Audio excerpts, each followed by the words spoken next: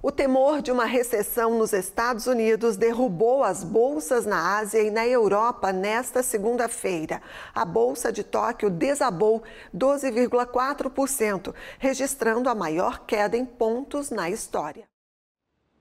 As bolsas desabaram nesta segunda-feira, enquanto o dólar e o euro registravam uma desvalorização em relação ao iene. Esta é uma consequência da crescente preocupação dos investidores com a possibilidade de uma recessão nos Estados Unidos.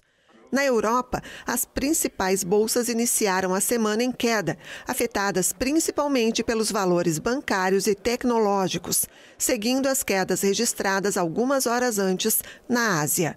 Frankfurt recuava mais de 3% pouco depois da abertura. Paris cedia 2,6% e Londres 2,3%.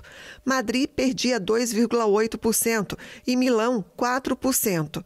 A taxa de desemprego nos Estados Unidos aumentou mais do que o previsto em julho, a 4,3%. Este é o maior índice de desemprego do país desde outubro de 2021. Após a publicação do relatório, os rendimentos da dívida pública registraram queda expressiva, o que gerou a previsão de que o Federal Reserve, o Banco Central dos Estados Unidos, pode reduzir as taxas de forma mais drástica que o esperado. Nas bolsas asiáticas, as quedas foram muito mais expressivas. Tóquio desabou. O Nikkei 225, principal índice da bolsa japonesa, que encerrou a sessão de sexta-feira em queda de 5,8%, desabou 12,4% nesta segunda-feira, uma perda de 4.451 pontos, a 31.458 unidades, o recorde de baixa na história que havia sido registrado em outubro de 1987. A bolsa de Taiwan caiu mais de 8% e Seul mais de 9%.